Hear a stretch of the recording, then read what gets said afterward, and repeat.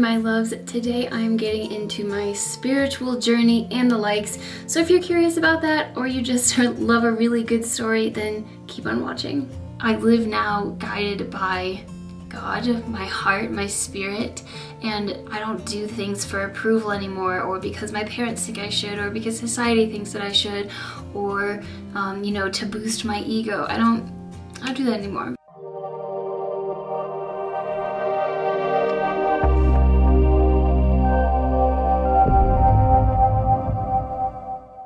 What's up guys, my name is Savannah. I teach modern hippies how to live a more healthy and natural lifestyle through mindfulness and science. Like I said before the intro, today I am getting into my spiritual journey and awakening. I'm also going to be talking about my religious upbringing and the most important things that I learned or have learned thus far on my journey.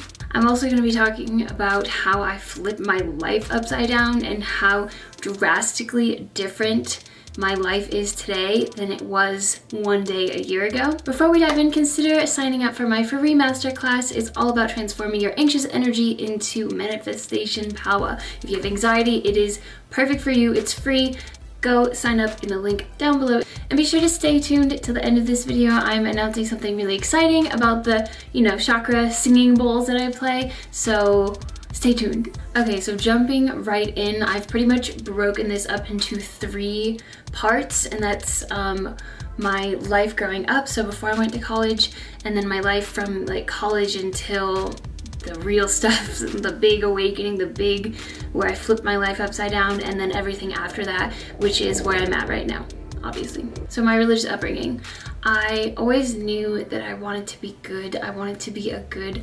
person and that I wanted to have a relationship with God or the divine or what was taught to me at the time as like, you know, being the man in the sky. I wanted to serve whatever was good. I wanted to serve the light. So I wanted to be a good person, but you know, what does that exactly mean? That definition can really be manipulated and the definition can be construed in a way to make people who want to fit into that category, who want to be good people, um, the definition can be, you know, constructed in a way that benefits a particular cause, a particular religion, a particular culture, and in what I was brought up in, which was fundamentalist Christianity, which are Christians that have a literal interpretation of the Bible. Um, a lot of them do think the earth is 10,000 years old. That meant following the Bible word for word, and everything outside of that was evil and bad. And if you didn't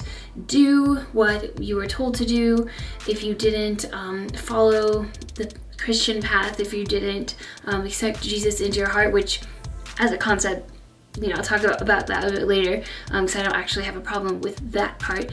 Um, if you didn't follow their religion, you would burn in hell forever. And um, we were taught that we are inherently evil, that our hearts are malicious, and that the only way to be good, to be a good person, was to follow whatever we were told whatever our pastor or um, Bible teachings told us. And like I said, everything outside of that was bad and evil and led to the fiery pits of hell. And looking back on that now, you know, everything that I believe now, all, all the things that I've learned since then and experienced, anything that you have to be fear-mongered into is not something of God. It's not something of the divine, of the universe, of source, whatever you want to call it. I'm going to use the word God in this um, video. I, whenever I say God, if that's uncomfortable for you, just substitute whatever you think of.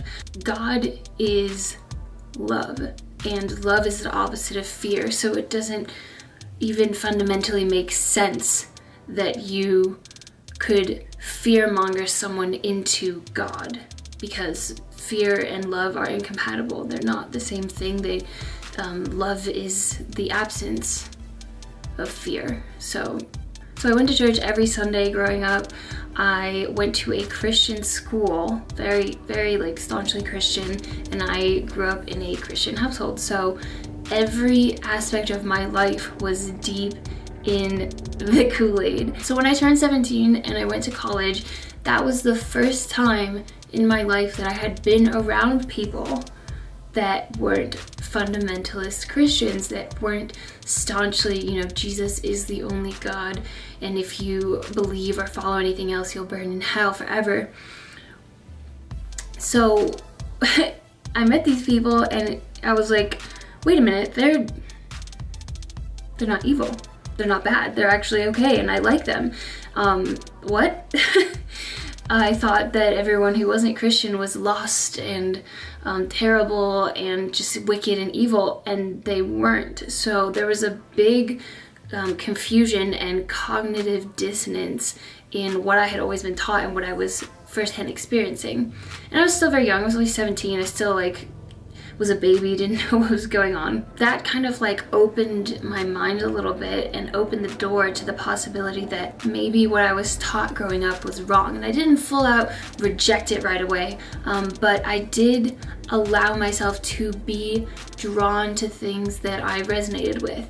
And one of the first places that that was, it was something that I was taught was evil growing up was this mystic shop in my college town called Creative Energy. If you live in Melbourne, Florida, maybe you've heard of it. It's got crystals and all kinds of that like occultic, like witchy, evil type stuff that I was taught was always bad growing up.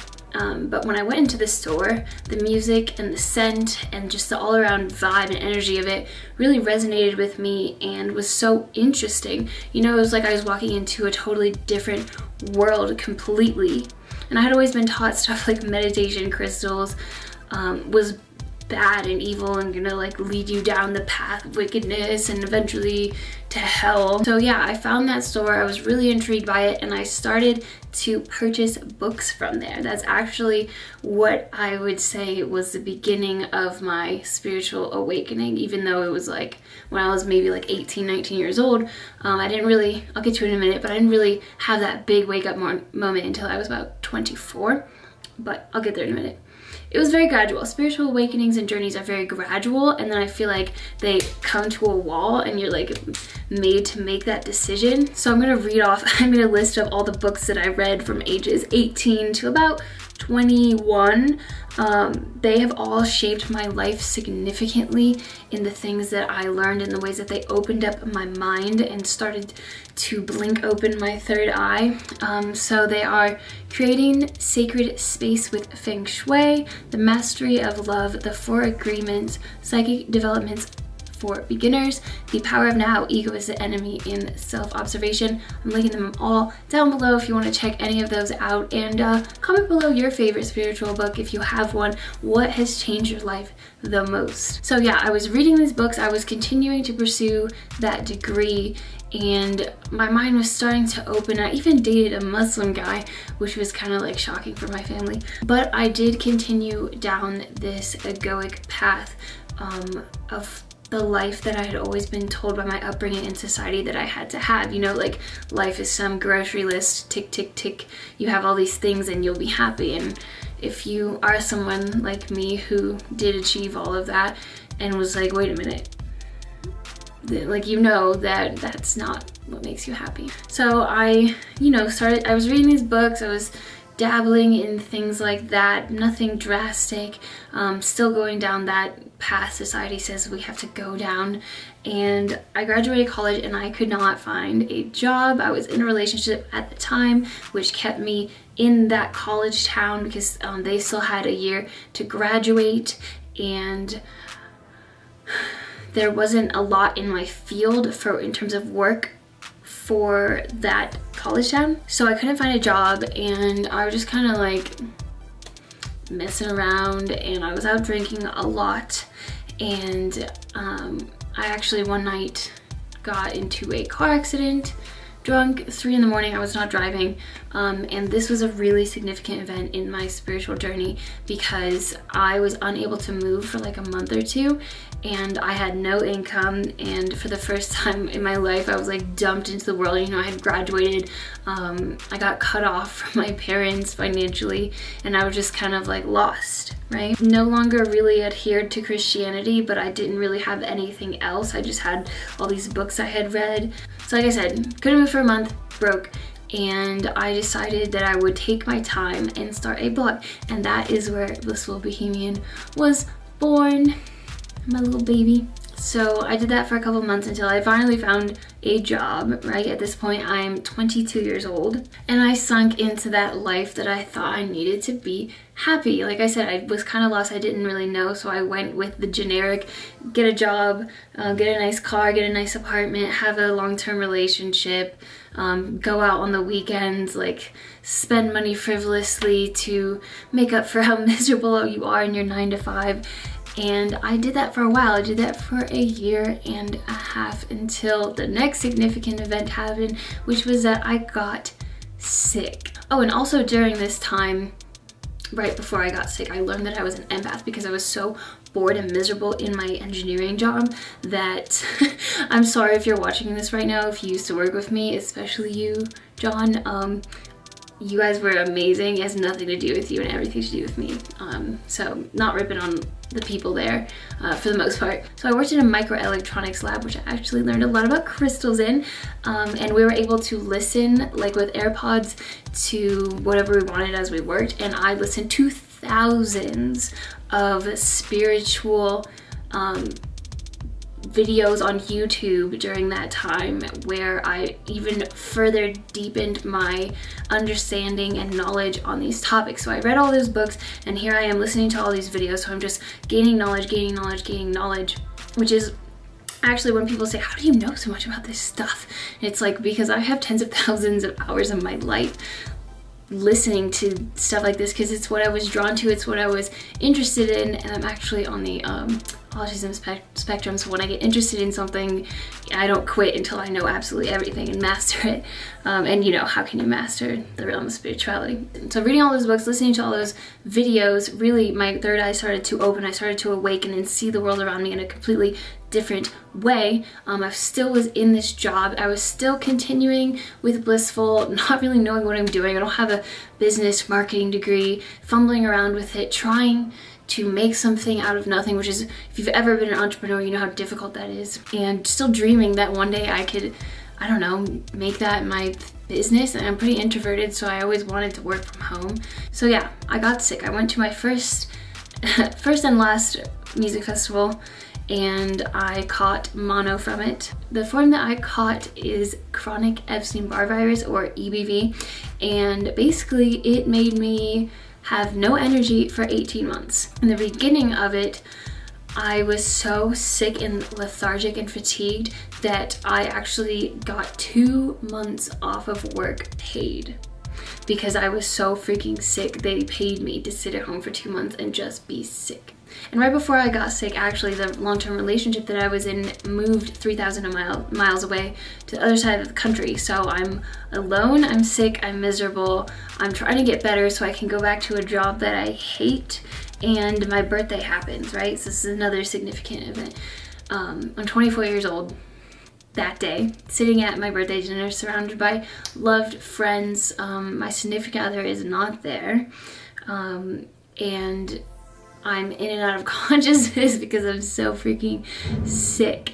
And eventually I do get back to work um, and I get back into that routine of, you know, just going through the motions. So I'm back at work, I'm listening to those spiritual YouTube um, different videos, different topics in my earbuds as I work, as I um, drink on the weekends a lot and try to escape how miserable I am at least for a couple hours a week and the next significant event happens, which is that my hair starts to fall out. So as you can see, I still have quite a bit of it, but I, and it's all like baby hairs like growing back. It's kind of crazy looking right now. Um, but I lost about a fifth, about 20 to 25% of my hair, which is like, bye. So that was kind of like a Jonah moment for me. If you don't Ironically, I'm like referencing the Bible here, um, which by the way, no problem with the Bible. I actually really like it. I think it's a great book full of lots of wisdom and stories and even a lot of truth. Um, but that was kind of like the divine God source, whatever, telling me like, girl, how are you not see like how are you not getting the messages like how drastic do I have to make this how far do we do I have to push you for you to finally go into the things that have been interesting you, the things that you're being called to. Like, do I literally have to make you like ugly? Do I literally, not that bald people are ugly, but do I literally have to strip you of like your ego literally, you know, because if you have long hair, if you, um, especially if you're like a woman and you um, place a lot of your femininity in your hair, this can be like a giant part of your ego. And I didn't realize that actually, um, how much of my identity was in my hair until it started to fall out. So my hair was falling out, I was miserable in my job, I was still freaking sick because I was sick for 18 months, including those first two months that were really, really bad. And I was just like, oh, okay, like my long-term relationship left me. And I actually talk about this next part in my free masterclass. Sign up below if you haven't already and you have anxiety. Um, I knew that I needed to change everything because of the way that my third eye had been open with all of this information that I had been intaking over the years, I could just see how stupid everything that I was doing was. Like, I like what was the point of me being miserable and ignoring my callings and passions and talents and being with somebody that more or less like left me um, being sick? Like I feel very much that like being sick and my hair falling out was a sign that I needed to change and flip everything upside down and you know I was miserable. So I did. And thus the next significant event where I dumped the person that I was with for four years I quit my job left my career as an engineer, decided to be a full-time entrepreneur with the business I had been slowly growing over the past three years. And I don't know, figure it out from there. Like, what, what was I do? What was I doing? I don't know, but it felt right. So, quick message: if you ever feel like there's something you need to do because it's just what you know you need to do, do it because what I'm about to tell you about where I am now, if I didn't take this leap of faith right here, I would never have been here. I would have been exactly where I was a year ago, probably still sick, probably like balding even, even more. So I quit my job, moved back home actually, which was really nice. I got to be with my teenage siblings a lot and struggled through figuring out entrepreneurialism. Like I said, I don't have a business or marketing degree, so I had to figure out how to run a business fully by myself uh, from scratch. During this time, as my business grew, I also grew. There was an incredible amount of inner work that was I was finally getting to after finally allowing myself to be free of what society tells us we have to be, of what my upbringing told me I had to be, and finally confronting my shadow and my ego and peeling off all of these layers to get to the real me, to the things that I always felt were there and that were pulled out by all of those books and videos I had read and listened to, and how to follow without expectation, how to know when something is a sign, how to trust the divine or God and know when something is meant for you, know when to wait, know when to charge forward, and learn how to meditate, learn how to have a spiritual practice, how to be dedicated to it. There's so many things that I was learning in that year, which all ended with me moving to Denver where I am now. My business is taking off, it's flourishing. I'm making sales in my sleep, which is something that I always dreamed about but never thought would be possible for me, but it's a thing. I've manifested it with the strength of the divine, with um, following where I'm being led. I met my twin flame. Uh, if you don't know where that is, I'll get to that in a minute. I have about an hour every day of spiritual practice every single day. I'm committed to that life. I'm moving into my calling as um, in, in energy healing and stuff like that.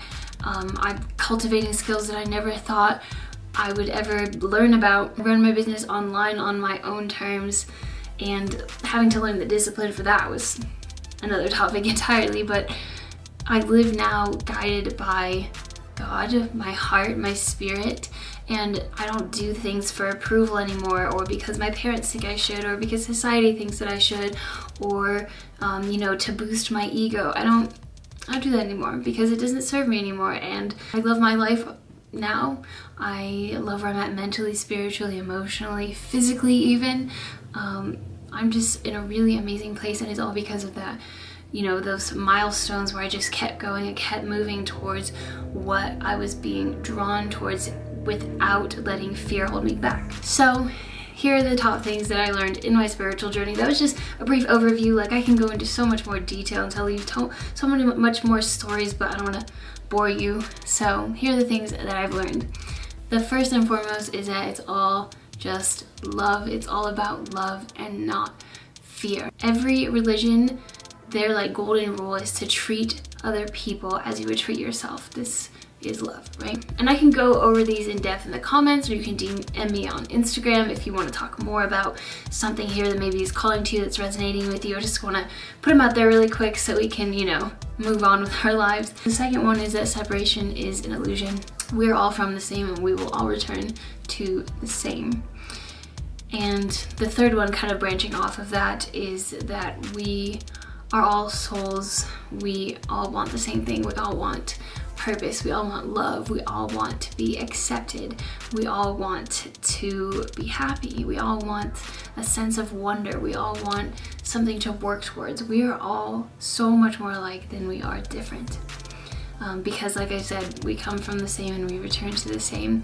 And the fourth thing, stemming more off of that, is that Everyone else is just a mirror of you. So from the things that trigger you into anger to the way that you treat other people have nothing to do actually with what that person did to make you angry or um, what that person, what you think that person deserves and everything to do with you.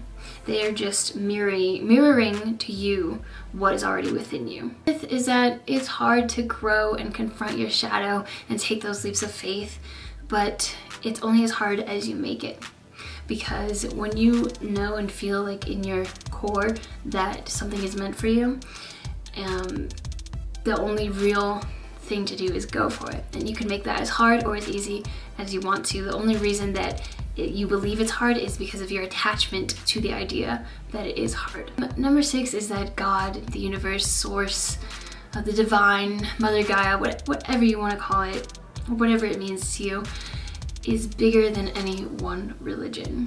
Religion is a great tool, but religion is somebody else's experience of spirituality. Spirituality is all about your experience and your relationship with God. Number seven is that there is so much more going on here in just just our earthly plane. I'm not even gonna get into other things.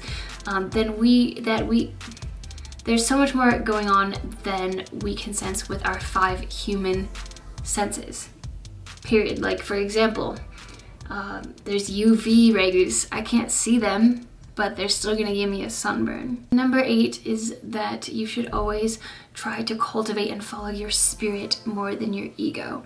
How do you know when you're being in your ego, when you're living your ego? It's because you are being guided by fear rather than love. Love is a fruit of the spirit.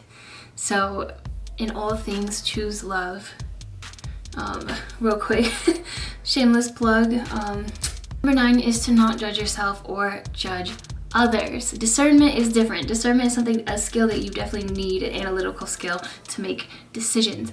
Judgment is when you um, hold someone to a standard that you have like made up or someone else has made up and compare them and you know say if they're good or bad. You judge that as good or bad. Don't judge yourself. Don't judge others because we're just here learning. That's just, that's all we're doing here. We're learning.